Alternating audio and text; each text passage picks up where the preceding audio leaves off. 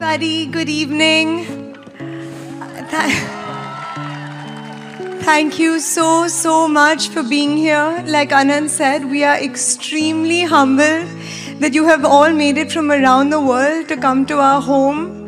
ये दोस्तों, अभी सोशल मीडिया पे चारों तरफ़ मुकेश अंबानी जी के छोटे बेटे अनंत अंबानी, राधिका मर्चेंट की प्री वेडिंग की चर्चा हो रही।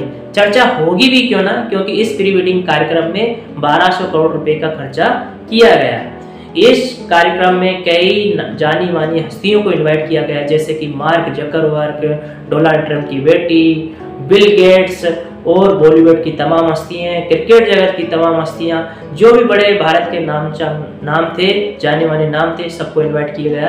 कुछ लोग नहीं जा पाए, कुछ अपने निजी कारणों के कारण। इस महँगी प्री वेडिंग कार्यक्रम की अपन पूरा एनालिसिस करेंगे। कुछ इस कार्यक्रम का लोग अप्रिशिएट कर रहे हैं, कुछ एंजॉय कर रहे हैं और कुछ लोगों के पेट में भी दर्द हो रहा। और हम लोगों को किस तरह शादियाँ करना चाहिए, उसका भी अपन बातचीत करेंगे।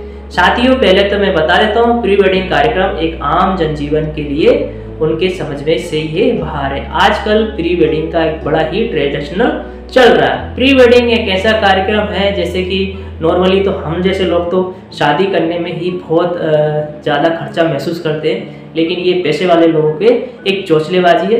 प्री वेडिंग जस्ट ये है कि दो लोगों को मिलने का उसका एक वीडियोग्राफी होगी।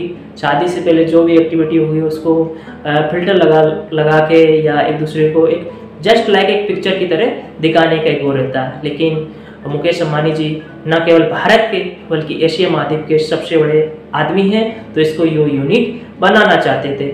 और वो एक बिज़नेस पति है तो हर मेहमान को लाने के पीछे कोई ना कोई कारण ज़रूर छुपा होगा, ठीक है? जैसे कि बिल गेट्स अनंत अंबानी जी को कोई चाचा जी नहीं है, लेकिन उनके भी कहीं ना कहीं बिज़नेस पार्टनरशिप है। मार्क जकरबर्ग के भी कहीं ना कहीं बिज़नेस लिंक है। और और भी जो बॉलीवुड हस्तियाँ हैं, वो तो जियो सिनेमा वगैरह पे टिके हुए तो कहीं ना कहीं एक रिलेशनशिप होती है। तो मैं ऐसा नहीं कहूँगा कि ये इसमें प्रेम नहीं था, घनिष्ठ नहीं था, जो भी है, लेकिन इस इस प्री वेडिंग को यूनिक बनाने के लिए मुकेश अंबानी जी ने बहुत बड़ी बड़ी हस्ती को बुलाया और पैसा को पानी की तरह बहा है इसमें। चाहे वो रिहाना को बुलाया और रिहाना को कुछ मिनटों की परफॉर्मेंस के लिए चौहत्तर करोड़ एक्सपेंड किए, और भी बॉलीवुड हस्ती को बोला। बॉलीवुड के तीनों खानों को एक ही मंच पे बुलाया। एक बार शाहरुख खान साहब ने किसी इंटरव्यू में बोला था कि तीनों खानों को एक साथ लाने के लिए लोगों की छट्टियाँ मिल जाएगी। और फ़िल्म प्रोड्यूसर तीनों खानों को यहाँ तक कि एक साथ ला भी नहीं पाए थे अभी तक, लेकिन मुकेश अंबानी जी के इस प्रोग्राम में तीनों खान एक ही मंच पर परफॉर्म करते नज़र आए। खैर, पैसा सब कुछ तो नहीं है, लेकिन फिर भी बहुत कुछ है। इसलिए पैसा अर्न करने पे ध्यान देना चाहिए, क्योंकि किसी पुरुष ने कहा भी था कि लड़का गोरा या काला या छोटा या बड़ा नहीं होता है। पैस लड़का सिर्फ़ गरीब और अमीर होता है। यहाँ पर मैं अनित, अनंत अंबानी जी की हेल्थ के बारे में बिल्कुल भी मज़ाक नहीं बनाना चाहता हूँ। वो अच्छे हैं, जो भी है, जैसे भी कुछ बीमारियों के कारण वो हेल्दी हो जाते हैं लेकिन दिल के एक अच्छे आदमी हैं, उन्होंने जानवरों के लिए भी कितना कुछ किया है। तो ठीक है, यहाँ पर कुछ, राधिका मर्चेंट को लोग ट्रोल कर रहे थे कि राधिका मर्चेंट ने पैसे के लिए अनंत अंबानी से शादी की, जबकि ऐसा नहीं है। राधिका मर्चेंट, बेकायदा ट्रेडिशनल ड्रेस में उनकी क्यूटनेस, स्मार्टनेस देखने से ही समझ आती है कि हाँ ये अंबानी घर की बहू बनने वाली है। राधिका मर्चेंट पैसे के लिए नहीं की, क्योंकि राधिका मर्चेंट खुद अपने आप में एक बिलीनर है, क्योंकि वो भी कोई छोटे मोटे घर की नहीं है। उसके पिता भी बिजनेसपति है और उनकी इकलौती बेटी है। तो वो भी बिलियन है, लेकिन दोनों की कहते हैं कि दोनों बचपन के दोस्त हैं, इसलिए इन दो लोग शादी कर रहे हैं। तो ऐसा नहीं है कि पैसे के लिए ही शादी कर रहे हैं। ठीक है फ्रेंड्स लेकिन फिर भी राधिका मर्चेंट की क्यूटनेस की तुलना में अनंत अम्बानी का जो हेल्थ पर्सनालिटी है, वो थोड़ा ओवर है, लेकिन फिर भी कहते हैं ना, लड़कियाँ हमेशा अपने से बेहतर को तलाश में रहती है। जो भी है, ठीक है, दोनों की प्री वेडिंग हो चुकी है और इस कार्यक्रम को बेहतर बनाने के लिए कई बॉलीवुड की हस्तियों को भी बुलाया गया और कार्यक्रम को तीन दिन तक खूब इंजॉय किया गया। साथियों, यहाँ पर एक महत्वपूर्ण मैसेज ये है, हमको सबको ये शिक्षा मिलना चाहिए, ठीक है, इस कार्यक्रम को सबने बहुत अच्छे से एंजॉय किया, कुछ लोग ट्रोल भी कर रहे हैं कुछ लोग अप्रिशिएट भी कर रहे हैं तो हम तो यही कहेंगे कि इसमें आप इंजॉय लीजिए अप्रिशिएट कीजिए और बड़े बिजनेसपतियों से कुछ सीख लीजिए। अगर कोई बिजनेसपति घराना ईमानदारी से गवर्नमेंट को प्रोबली टैक्स देकर अगर पैसा कमाकर कुछ खर्च कर भी रहा तो उससे हमको क्या दिक्कत है? बल्कि हमसे तो प्रेरणा लेना चाहिए। यहाँ पर मेन इंपॉर्टेंट बात अब ये आती है, जो भी है इनका प्रोग्राम हो चुका है और अब जुलाई में शादी होगी।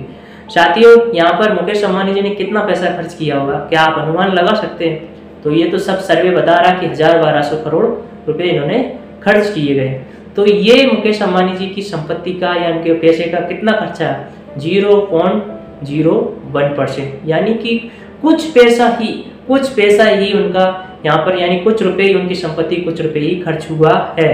जी हाँ दोस्तों, लेकिन हम आम जन जीवन में देखते हैं, समाज का एक प्रेशर मेंटेन करने के लिए, समाज में अपना स्टेटस मेंटेन करने के लिए लोकल शहरों में लोग लोन लेकर अपनी शादी में बड़ा खर्चा करेंगे, बड़ा टेंट लगाएँगे, बड़ा दिखावा करेंगे। कुछ कार्यक्रम तो करना ही होता है लेकिन कुछ कार्यक्रम जिनकी ज़रूरत नहीं होती दिखावा करने के लिए, कुछ लोन लेके भी, कर्जा करके भी शादी करते हैं। दिखावे के चक्कर में। ये नहीं कह रहा हूँ, जो बेसिक नीड है शादी की, वो तो करना ही चाहिए, लेकिन दिखावा से हमको बचना चाहिए। हाँ अगर हमारे पास पैसा है तो हम चाहे कितना ही खर्चा करें, उससे क्या फ़र्क पड़ता है? लेकिन कर्जा करके शादी करना, फिर पूरी ज़िंदगी उसकी ईमाई चुकाते रहना, ये तो एक बेवकूफ़ी भरा कदम होगा। ग्रामीण परिवेश में भी यही देखा, लोग समाज के प्रेशर को मेंटेन करने के लिए, समाज में अपना स्टेटस मेंटेन करने के लिए साहूकारों से कर्जा ले लेके शादी करते। एक ग्रामीण सर्वे के मुताबिक 60 प्रतिशत लोग शादियों में कर्जा लेकर शादी करते हैं। तो यहाँ पर यही एक मैसेज था कि भाई, देखो मुकेश अम्बानी साहब के पास इतना पैसा था तो उन्होंने इतने अच्छे से की है तो जो उनके समकक्ष या उनसे काफ़ी नीचे के जो बिजनेसपति लोग हैं तो वो भी ऐसे शादियाँ करते तो कुछ के पास पैसा होता है, कुछ लोग लोन लेके ऐसे काम करते लेकिन आम जनजीवन में एक मिडिल क्लास फैमिली में तो शादी में उतना ही खर्च करना चाहिए जितना कि अपन डिजर्व करें, ताकि कल को दिक्कत ना हो। फालतू के दिखावे से बचना चाहिए, ठीक है? क्योंकि शादी एक ऐसा है, दो लोगों का मिलन है, सुखी जीवन की एक नई प्लानिंग की जाती तो क्यों बर्डन बढ़ाया जाए, ठीक है? और जैसे कि दहेज दहेज वाला एक जो दहेज प्रथा होती है तो दहेज के बारे में तो क्या ही कहेंगे? क्योंकि लड़की लड़की भी और लड़की के माता पिता भी अपनी लड़कों को बेहतर घर में देना चाहते हैं। तो जब बेहतर घर में देना चाहते हैं तो सा, जो लड़का होगा, वो भी बेहतर होगा। तो एक दहेज की डिमांड होती है।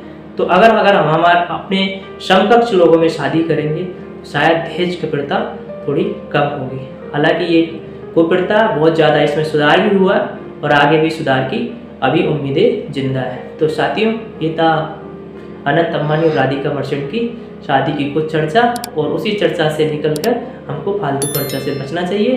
अभी ठीक है।